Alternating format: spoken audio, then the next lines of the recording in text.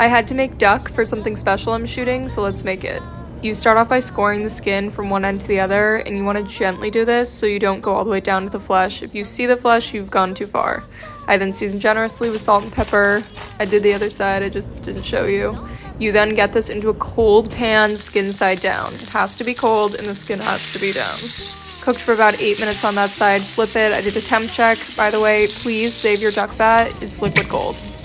I then finished it off in the oven until it reached 130 degrees and then sliced it up. I left the slices pretty thick, you'll see, for plating.